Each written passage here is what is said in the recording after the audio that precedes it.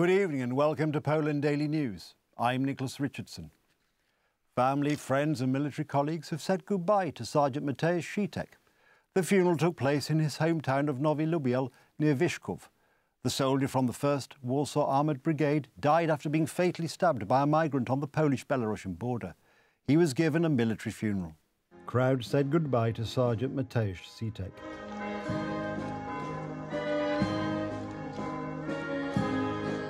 Moving words were spoken by Mateusz's mother of blessed memory.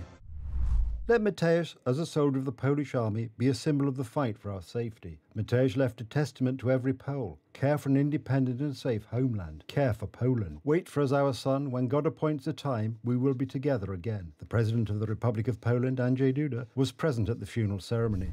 A Polish soldier, a defender of the homeland, rests here. People from all over Poland came here to honour him. A Polish soldier by vocation and upbringing rests here. When he chose this service, he knew that it was associated with risk. He took up the task and did not desert. He died in the service of the Republic of Poland. He gave his life for us, for our homeland. There is nothing more valuable to the homeland than its defenders who are ready to pay for its freedom, sovereignty, and independence with their lives. Thank you on behalf of the entire nation. Today at 12 noon, sirens sounded across Poland in honour of the murdered soldier.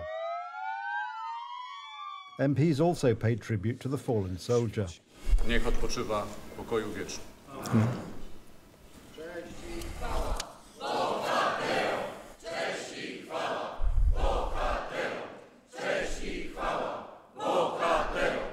Mateusz Sitek died defending Poland's borders, the first Polish soldier to do so since World War II. He died from wounds inflicted by an illegal migrant. Law and justice politicians demanded a special commemoration for the memory of the Polish soldier. The day of his funeral should become a day of mourning. But that didn't happen. That's why Poles organize themselves. They pray and lay flowers and candles at the military hospital in Warsaw, where Mateusz died. Dla rodziny jak najgłębsze wyrazy współczucia straci. My deepest condolences for the family of this young man. We should join them in prayer and hope that there will be no such occurrences in the future. Nie będą miały ponownie miejsca. Dla każdego bohatera For me, he is a hero and he deserves a national mourning day. powinna być żałoba narodowa. Młody człowiek, wspaniały. An exceptional young man.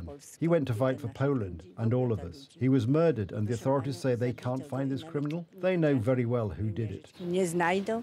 Proszę panią, dobrze wiedzą, kto to jest. Mateusz Sitek's death is the result of hostile actions by Russia and Belarus. Moscow is waging an undeclared hybrid war against Poland by bringing illegal migrants to the eastern border, who are behaving increasingly aggressively. So the responsibility for this crime falls on the Russian side.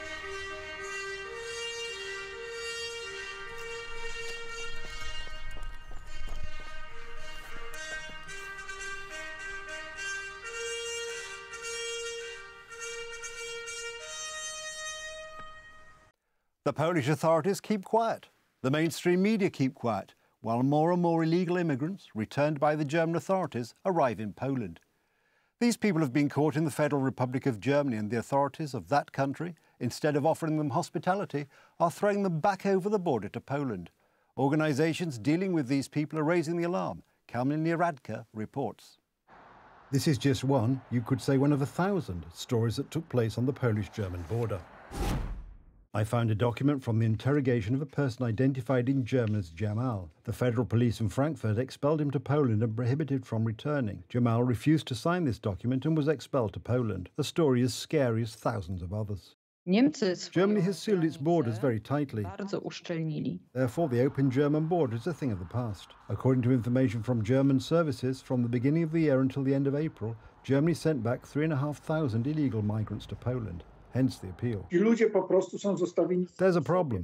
We inform the authorities about it, but there is no response. jako organizacja możemy zrobić. What is already the norm on the Polish German border does not arouse as much interest as in the case of the eastern border with Belarus. The lies spread by the pseudo elites have had no effect. Public opinion polls clearly show that in matters where the Polish raison d'etat is important, the sense of security plays a key role. A nasi żołnierze, nasi funkcjonariusze Straży Granicznej Polish soldiers and officers always act in accordance with the law and with an open heart.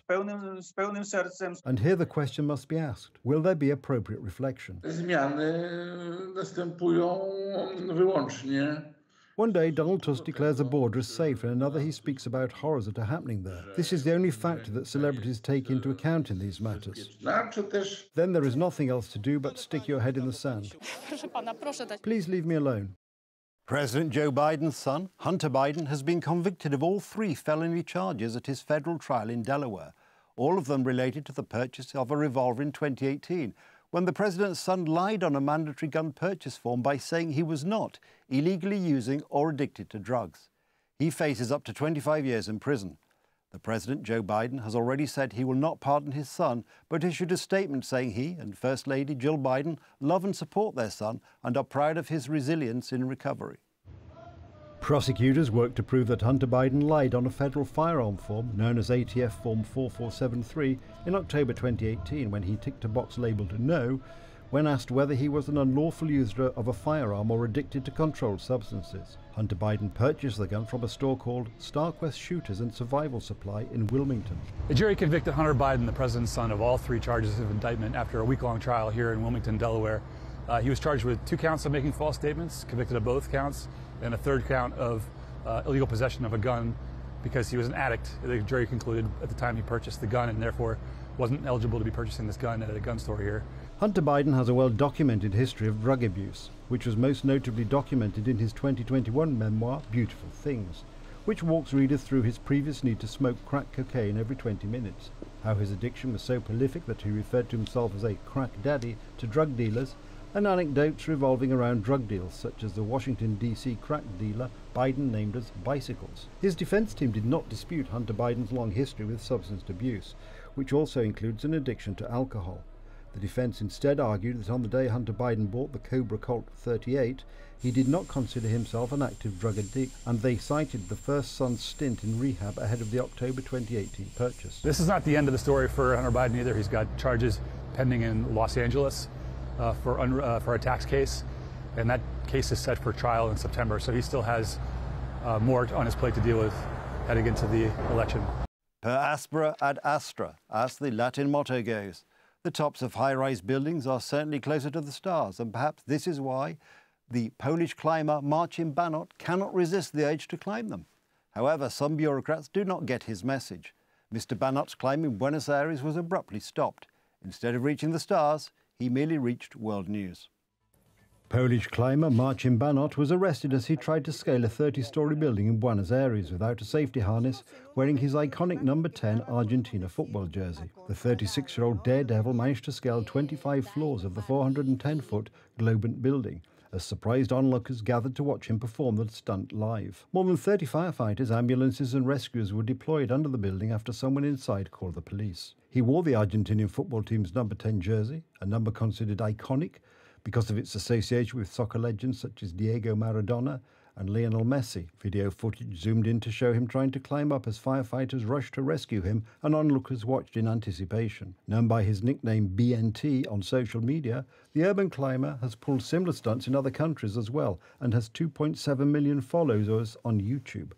However, his ambition was cut short after he was plucked from the building in a safety harness by firefighters and brought back to the ground. Mr. Banot did not uh, resist arrest and he was taken into custody. He could be ordered to pay the cost of the rescue operations, officials said. It was his second attempt to climb the same building after he was taken down during his first attempt earlier. Arrests and legal troubles are not new for rooftopers. It is not known whether he was scaling for a cause or a campaign, as urban climbers usually do. Earlier this year, a free climber known as the French Spiderman scaled a skyscraper in Manila to bring attention to the South China Sea dispute amid incidents of standoffs between the Philippines and China.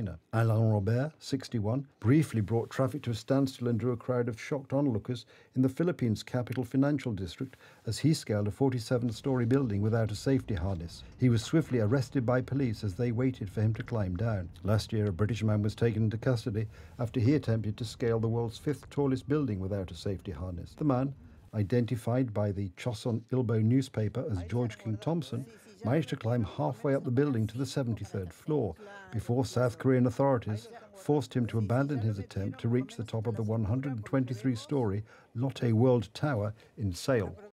That's the news, but stay with us for the weather forecast, Alexander Viejski's interview with Romanian Member of Parliament Cristian Terheș and Michal Rachon's show Rock Rachon. But from me, it's have a good night and a better tomorrow.